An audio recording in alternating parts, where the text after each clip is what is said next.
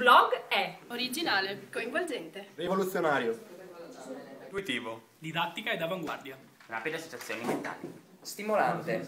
Pensiero critico. Innovativo. Differente. Motivante. Interattivo. incoraggiante, Sembra a portata di mano. Attuale. Time consuming. Provocativo. Moderno. Invogliante. Secondo quaderno, Impegnativo. Per me il blog è stato lasciare un commento.